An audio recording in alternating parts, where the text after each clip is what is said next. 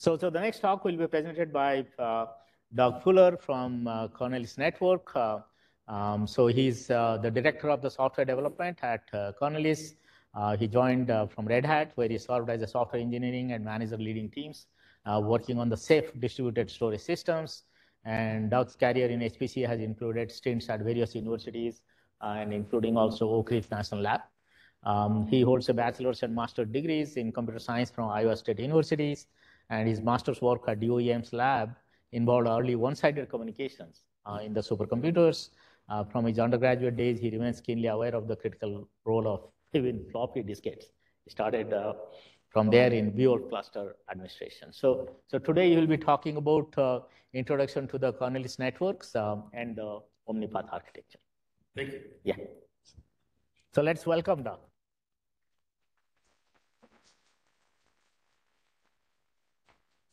Ah, there we go. Okay. Oh, thank you. Yeah.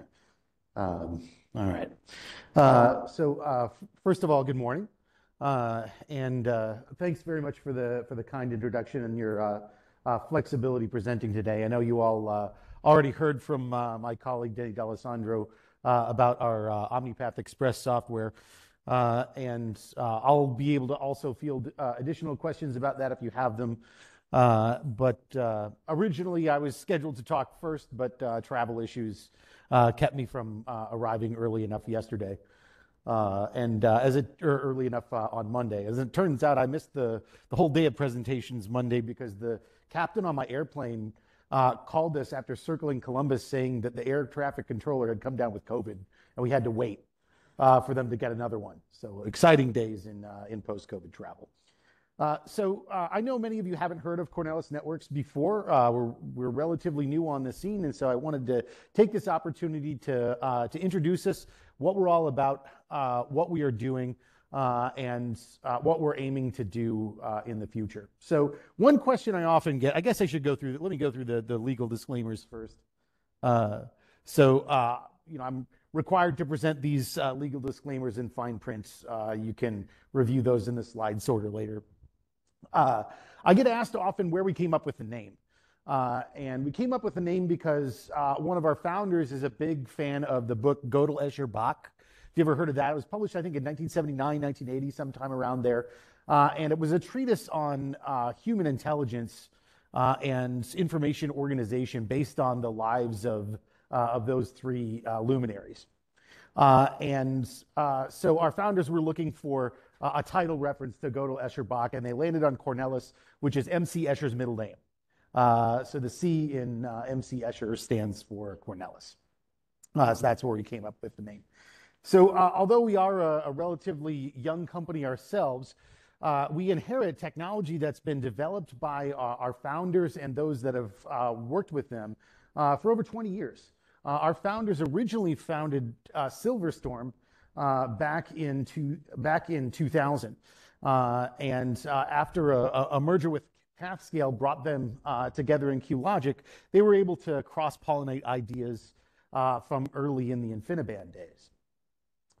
Uh, following the following the, the participation in QLogic, Intel purchased the HPC business from QLogic, and then later bought interconnect technology from Cray uh, and merge these teams and technologies together to create the Omnipath architecture. Uh, the Omnipath architecture was inaugurated uh, in uh, around uh, 2012, 2013, uh, and continued until Intel divested the Omnipath architecture in 2020. and that happened as a part of Intel canceling the, the KNL product, Knights Landing, Knights Corner. Uh, and Cornelis Networks was formed to divest the Omnipath technology uh, and uh, take it back uh, independent uh, and bring it back to the marketplace. So, uh, although we've been around for just a, a, couple of years ourselves as Cornelis Networks, we're embodied with a legacy of technology that represents over a billion dollars in R&D investment from the various companies that have contributed intellectual property. So, our current uh, we, we also inherited the current installed Omnipath base with, uh, with over 500 installations. Uh, and uh, we continue to uh, develop the architecture and bring it forward for uh, future generations in collaboration with the community and our customers.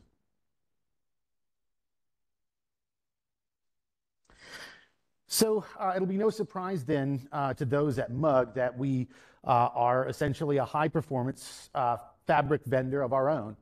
Uh, so today we, we continue the development of the OmniPath architecture with the OmniPath 100 product. Uh, and you know, this year we've been developing, as you heard from Denny earlier in the conference, our OmniPath Express software, which is a software upgrade for the existing OmniPath architecture, providing uh, better scalability and performance. Uh, then we're continuing to, to develop our next generation 400 gigabit per second OmniPath product that we're calling the CN5000 product. Uh, and that'll include, uh, that'll be developed in 2023 and include additional uh, acceleration features, uh, you know, follow-on version of the product. and then we'll continue in future years. we've already begun development on our future 800 gigabit per second product uh, that we're referring to as the, the 6000 series uh, due around 2025. Uh, and so we're continuing this, the, the timeline that was really started out from Intel in the, in the Knights Landing and Knights Corner days. So how do we do it? Well, we provide a, full suite of, uh, fabric architecture. Uh, so that includes your uh, host and management software, the your uh, PCIe adapters, a full suite of switches, including you know, your, your top of rack and, uh, and data center director class switches, uh, both active and copper uh, cables and gateways to provide compatibility with other fabrics. Uh, those gateways come in the form of, uh, of pizza box servers that can perform translation for, for foreign fabrics such as InfiniBand and Ethernet. Uh, and so those are often used to uh, connect uh, file systems that use different protocols or uh, to connect different systems together. Uh, and so uh, essentially from, from soup to nuts, from MPI, from an MPI call all the way down the stack and, and back up, we provide the entire software and hardware fabric experience. I don't think it's necessary in this group to describe exactly what our motivations are for providing high performance computing. Uh, I think this room and those watching online are probably uh, very well versed in the subject already. Uh, so uh, I'll simply mention that, uh, you know, as I'm sure everyone is aware, uh, as computing power continues to increase in density, additional stress is placed on net the network, especially in terms of scalability and latency. Uh, and so these are our, prime factors uh, as we continue to develop our technology. It's also important to us that we consider costs uh, in every layer uh, of the technology we design. Uh, so we consider cost carefully in uh, every aspect from, the, from our switch chip radix to the, types of cables that, we support to make sure that we're not designing uh, unscalable costs into our system as we develop the technology. Uh, so I'll kind of uh, I'll kind of skip this slide and not try to uh, convince you that high performance computing is important or uh, going to have a very bright future. I suspect we all agree with that. Uh, and we're supported across the ecosystem. Uh, so we're entirely vendor and operating, we're entirely vendor, operating system, hardware, CPU, GPU vendor neutral. Uh, we do everything in our software stack uh, fully open source. Uh, and so uh, we support the popular MPI distributions. I'm very proud to uh, to add MVAPICH support with, uh, with our latest OPX software uh, to the list, thanks to our, our partnership here with the MVAPICH project. Uh, that's very exciting for us because uh, it's uh, demonstrated performance gains already in, uh, in early versions of our uh, OmniPath Express software. So uh, I greatly appreciate that collaboration. we also collaborate closely with processor vendors, both Intel and AMD, along with the storage systems you're familiar with. Uh, the, uh, we support popular AI/ML frameworks as well as, uh, as popular uh, GPU frameworks. So uh, essentially, we're here to provide you a fabric and allow you to make your own choices in terms of hardware vendors for your systems, accelerators, uh, and your software choices in terms of communication library, communication platform, whether that be MPI or PGAS or, or IP if you prefer, or storage system. Uh, and uh, just to toot the horn a bit, we were named uh, HPC Wire one of their top five new technologies to watch at SC.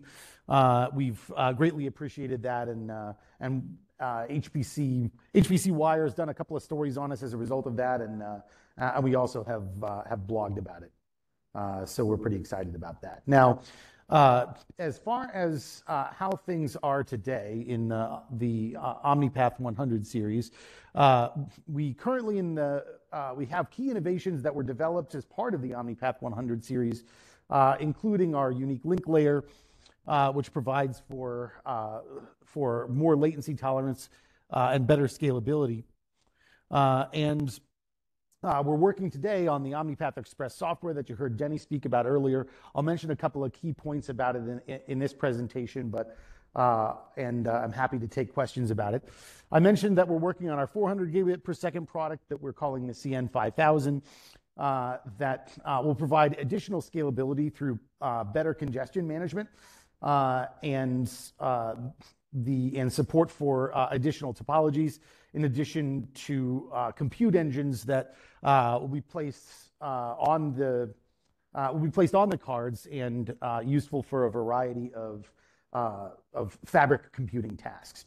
Uh, and then moving forward to the CN6000 product, where uh, we're exploring additional technologies to reduce tail latency and congestion even further, and provide 400 gigabits per second of overall bandwidth. So in terms of key innovations in the Omnipath 100 product, one is our unique link layer, which is partly acquired from Cray Technology. And essentially what we do here is, we uh, we uh, break up our data flows at the sub-packet level, creating flow control digits or flits. Uh, these flits involve these flits allow us to interleave messages on the packet, which allows us to deal with higher priority packet preemption and interruption. So, for example, if you have some large bulk bulk data transfer, say uh, from storage. You're performing some uh, load or store to storage that's gigabytes in size uh, and we receive a higher priority packet, say a small MPI message, uh, all we would be able to do without this, uh, if we had, uh, if all of our link layer uh, were uh, done at packet granularity, is we would have to wait, adding additional latency to that small message while the storage traffic cleared out of the way. but using using flit routing, when a higher priority packet arrives, we can essentially pause that lower priority bulk traffic and interject the higher priority traffic uh, during the transmission of a packet, even before packet egress. So this allows us to both reduce latency for higher priority messages and reduce overall tail latency because uh, we're able to make sure that the highest priority uh, packets are transmitted first no matter what.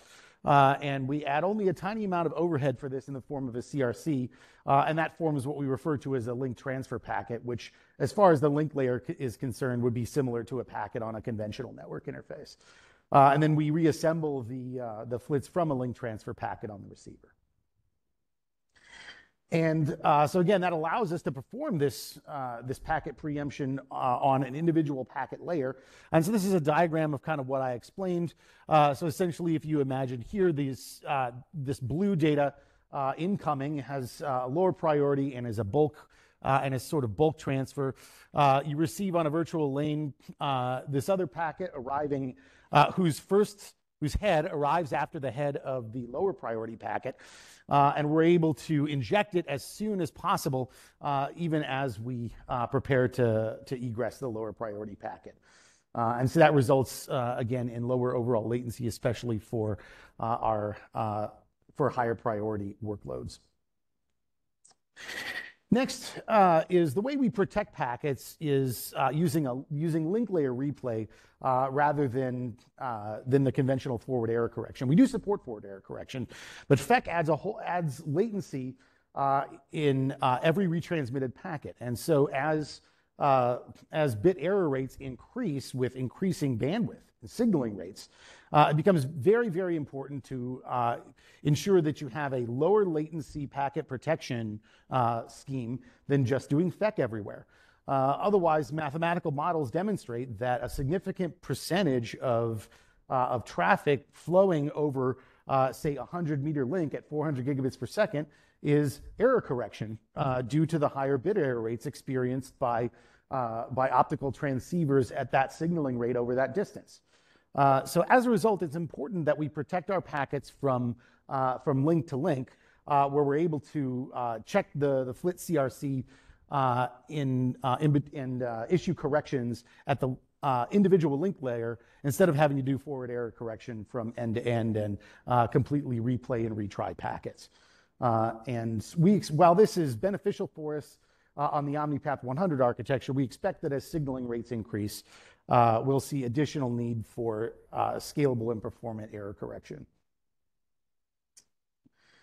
Now, uh, Denny already uh, covered the, the uh, details of, of OmniPath Express uh, OPX, uh, so I won't, uh, I'll just mention some high-level details that I'd like to, to highlight here and allow the, the remainder of, allow Denny to handle, to have handled the remainder, but I'm happy to take questions. So what's important here is that we're developing OPX as uh, a software layer essentially for our uh, next generation, the CN5000 uh, based product. But we're developing it here on uh, the uh, OmniPath 100 architecture for a couple of important reasons. Uh, one is that we feel like it's a nice thing to do. We can provide performance improvements for existing customers but also then we can reduce our we can reduce deployment risk for uh, the CN5000 series system. Uh, so essentially, as we uh, as we deploy uh, our new software, we're uh, then we'll be able to uh, change the backend to support the new drivers for the CN5000 product. so. using OPX, we've already demonstrated significant performance improvements, especially in terms of latency and message rates. Uh, and then uh, with the development of the, uh, the CN5000 series, uh, we'll be able to, de- uh, to deliver additional features that that hardware provides. Uh, and truthfully, as a software guy working at a hardware company, I, am, I am very pleasantly surprised by how much engagement we get from the hardware team. we're able to work together with them to develop our software features.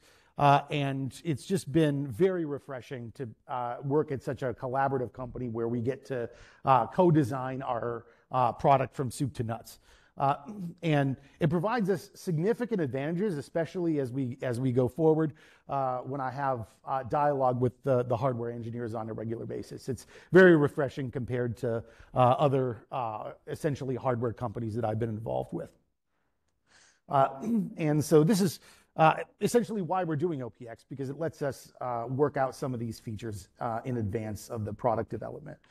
Uh, so uh, OPX is optimized for, uh, for high performance infrastructures based on the OpenFabrics interfaces. as I'm sure Denny mentioned, but I'd like to highlight, we're as an open source company, we're dedicated to employing open standards and open source code in all of our software development. Uh, and the OpenFabrics interfaces are a standard developed by the OpenFabrics Alliance, which is an industry, academic, government uh, standards body in which Cornelis Networks is a participant. Uh, and uh, in fact, uh, Denny's our representative there. Uh, and this ensures that additional features that we develop are accessible to communication layers such as MPI, and uh, this is partly why our uh, partnership with OSU and the MVAPICH project, project is so important. With MVAPICH 3, we, supports the OpenFabrics interfaces and therefore runs cleanly on, on OPX. Uh, this also gains us support uh, immediately from, for other types of programming models, uh, OpenSHMEM, Chapel, these, these other PGAS programming models that already support the OpenFabrics interfaces. and we see uh, a lot of the community heading in this direction. Uh, we see code contributions to the Open Fabrics interfaces from uh, from Amazon and uh, and uh, other large technology companies and organizations. So we feel very strongly that that OFI is an effective meeting point for those looking to provide fabric services to higher level software infrastructures. Uh, and uh, then, of course, uh, this is, in, we are an HPC company. We are talking at an HPC conference. So performance is obviously paramount. And a great deal of OPX has involved re-architecting our software layer for maximum performance. And so that includes optimizing down to the instruction and cache line so that we can deliver the absolute lowest latency possible. Uh, and the fact that we've been able to get to and under a microsecond latency in many cases, uh, even on the uh, Omni-Path 100 hardware, is really a testament to the effective design that went into the Omni-Path architecture in the first place. And again, so the the most important thing I'd like to point out Uh, is that uh, we are not just an open source company, but we're uh, an open source upstream first development organization. In other words, we contribute every line of code that we develop to the projects from which we developed it. So for example, the code that we develop in our driver is submitted upstream to the Linux kernel. Linus Torvalds accepts all of our code, and then the Uh, code becomes available in your Linux distribution. Uh, so rather than providing binary drivers or uh, or external packages, we submit our code directly to the kernel where it's reviewed and integrated so that our hardware uh, simply just works based on the software embedded in Linux. In terms of the OpenFabrics interfaces, they are implemented in uh, a library called libfabric, maintained by the OpenFabrics Interfaces Working Group. Uh, and we submit our Omni-Path Express code there for for review and acceptance as well. So it, you know, we don't just say that we're open source in the sense that you can go download an ISO from our website somewhere and read the code in a web browser. Uh, rather, we actually uh, participate in the communities that we take from. Uh, and we consider that an incredibly important part of both our value to our customers and as a collaborative effort that we're able to undertake with our communities and customers. And I won't I won't go over the detail of the OpenFabrics interfaces layer cake, but that's presented here. The key takeaway from this slide Uh, is, let's see, is a laser beam? Maybe not.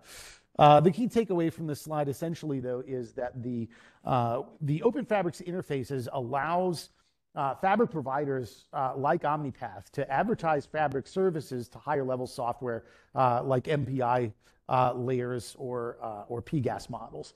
So the, those software layers can interrogate libfabric to learn about the capabilities of the underlying hardware uh, and then use those capabilities for maximum performance. Uh, so uh, here in the the libfabric box, you'll see a bunch of features that we're able to implement and then export via libfabric for consumption by by MPI layers such as MVAPICH.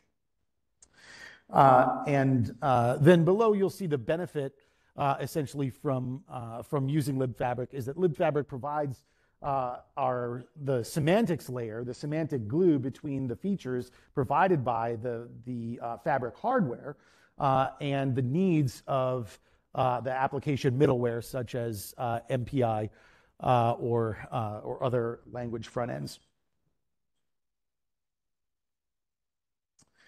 And finally, I'll say just a little bit about our new 400 gigabit per second product. Uh, unfortunately, they don't let me talk about it all that much, uh, requiring NDAs for a lot of things. So uh, the slide where we're able to present publicly at this time is rather general, but essentially we're aiming for, for the industry's lowest latency and highest message rate with 400 gigabits per second bandwidth. We're going to support additional Uh, topologies such as uh, that you're familiar with now in large, highly scalable fabrics such as Dragonfly, Megafly, HyperX. Uh, and we'll be adding additional congestion control algorithms based on interswitch telemetry. And for details on that, we're happy to to discuss the technical work under NDA. And I think that leaves me with, with three minutes to take questions. Uh, so thank you very much for, uh, for your attention. What questions can I answer for you? Let's first give.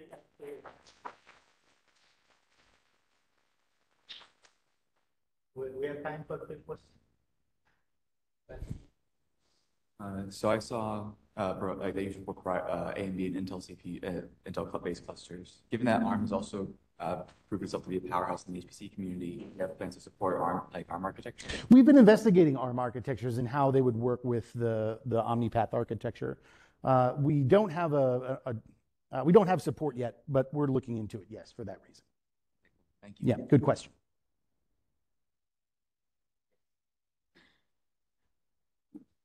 Um, so early in the slides, you like mentioned support for AI systems and software. Um, like, do you have any specific designs or features that are targeted to benefit the AI workload? So the, the, the AI, the AIML workloads, uh, especially that tend to, uh, to utilize GPUs, they use the, these GPU collective communication libraries. Uh, and so uh, we support and directly accelerate them using DMA engines present on our, uh, on our uh, interface cards.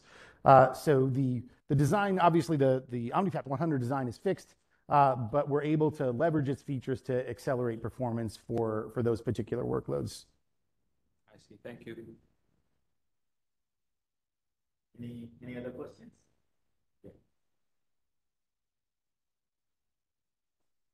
Um, thank you for the wonderful talk. Do you have any support for in-network uh, computation for like uh, all reduce operation or other reduction operations for the AI? So the uh, we're working on that for our 400 gigabit per second product uh, to provide uh, to provide uh, in-network computing on the uh, on the individual cards. Our switches don't do uh, any in-network processing. Okay, thank you. Any, any additional questions from remote? Anybody has asked any question? Okay, so let's then give uh, thanks to the. Uh, real, real quick, we have a question from the, the chat. Oh, Uh, I believe it's Mahesh asked, will the PSM and verbs interface be deprecated in OPX? uh, PSM. Uh, so oh no, it, so OPX uh, can exist alongside the the PSM and verbs interfaces. Any other questions uh, from remote? Okay, so uh, thanks again. Um, Thank you. So we'll switch to the next talk, but before that, I